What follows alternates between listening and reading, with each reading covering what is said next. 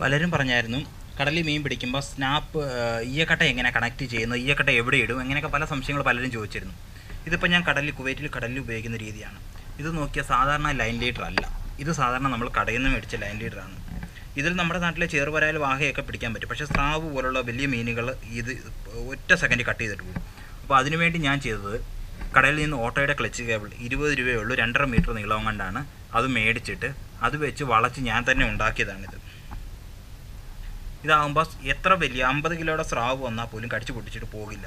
ഇതിന് ഇത്ര നീളമുണ്ട്. ഒരു കൈയുടെ ഏകദേശം ഒരു കൈമുട്ടിന്റെ മേളിൽ നീളത്തിൽ കൊടുത്തിട്ടുണ്ട്. മുക്കാൽ മീറ്ററിന്റെ നീളത്തിലാണ് ഞാൻ ഈ ലൈൻ എടുത്തിരിക്കുന്നത്. എന്നിട്ട് ഇവിടെ സ്നാപ്പ് ലോക്ക് ഇട്ടിട്ടുണ്ട്. അതിലാണ് ചൂണ്ടയിട്ടിരിക്കുന്നത്. മുകളിൽ സ്നാപ്പ് ഇട്ടിട്ടുണ്ട്. അതിലാണ് ലൈൻ കെട്ടിയിരിക്കുന്നത്. ഈയക്കട്ട നോക്കൂ ഈയക്കട്ട ഇട്ടിരിക്കുന്ന രീതി നോക്കൂ. ഒരു സേവിനസ് റിങ്ങിലും സ്നാപ്പ് ലോക്കിലും കൂടെ ആണ് കണക്ട് ചെയ്ത് ഈ ലൈനിൽ ഇത് ഫ്രീ ആയിട്ട് കിടക്കുന്നത് ഇത് അങ്ങോട്ടും ഇങ്ങോട്ടും എല്ലാം പോവുകയും വരികയും ചെയ്യും. ഈ രീതിയിലാണ് ഇട്ടിരിക്കുന്നത്.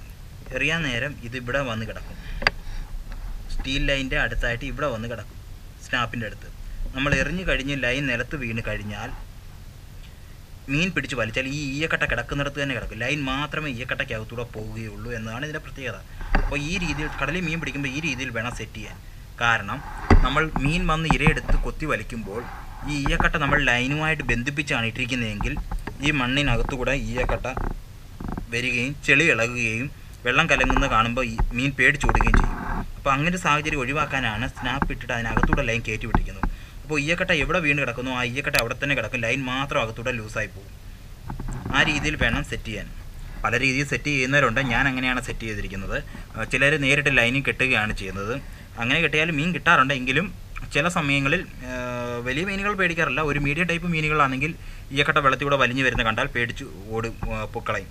അത് ഒഴിവാക്കാനാണ് നമ്മൾ സ്നാപ്പ് ലോക്ക് ലൈൻ അകത്തൂടെ സ്നാപ്പ് ലോക്കും സീവിനസ് റിങ്ങും ഒക്കെ ഇട്ട് സെറ്റ് ചെയ്തിരിക്കുന്നത്. അപ്പോൾ ഓരോരുത്തരും അവരുടെ ഐഡിയ അനുസരിച്ച് വേണം സെറ്റ് ചെയ്യാൻ. കടലിൽ മീൻ പിടിക്കുമ്പം ഉറപ്പായിട്ടും സ്റ്റീൽ ലൈൻ ഉപയോഗിക്കണം. എവിടെ മീൻ പിടിക്കാൻ പോയാലും നമ്മൾ അവിടെ കിട്ടുന്ന മീനുകളെക്കുറിച്ച് വ്യക്തമായി അറിഞ്ഞ് പഠിച്ചതിന് ശേഷം പോയാലേ മീൻ കിട്ടുകയുള്ളൂ. എവിടെയെങ്കിലും പോയിട്ട് മീൻ പിടിക്കാൻ എന്ന രീതിയിൽ ഏതെങ്കിലും ചൂണ്ടയോ ഏതെങ്കിലും ലൂറോ വാങ്ങിച്ചു പോയാൽ ഒരിടത്തു നിന്നും ഒരു മീനും നമുക്ക് ലഭിക്കില്ല. അതുകൊണ്ട് മീൻ പിടിക്കാൻ പോകുന്ന ഏരിയയിൽ കിട്ടുന്ന മീൻ ഏതൊക്കെയാണെന്ന് ആ ചുറ്റുവട്ടത്തുള്ളവരോടോ അവിടെ സ്ഥിരമായിട്ട് മീൻ പിടിക്കാൻ വരുന്നവരോടോ നാട്ടുകാരോടോ ചോദിച്ച് മനസ്സിലാക്കിയിട്ട് അതിനെ പിടിക്കാനുള്ള തയ്യാറെടുപ്പുകളുമായിട്ട് വേണം നമ്മൾ എവിടെ പോയാലും പോകാൻ. അതിപ്പോൾ പുഴയിലാണെങ്കിലും കടലിലാണെങ്കിലും